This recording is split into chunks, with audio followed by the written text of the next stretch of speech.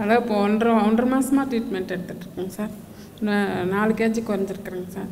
ரொம்ப பரவாயில்லைங்க சார். ரொம்ப திருப்தியாக இருக்குது மோஷன் ப்ராப்ளம் இருந்துச்சுங்க சார். அது சரியாக போச்சு இப்போ. இப்போ அதான் சரி உங்களை பார்க்கலான்னு வந்தேங்க சார். இவங்க பேர் தமிழ்ச்செல்வி ஒசூர்லேருந்து வராங்க சார்.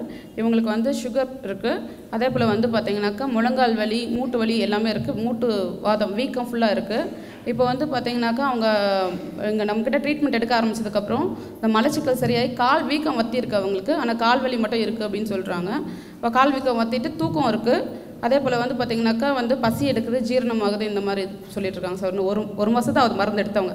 கடவுள் நன்றி சொல்லுங்கள்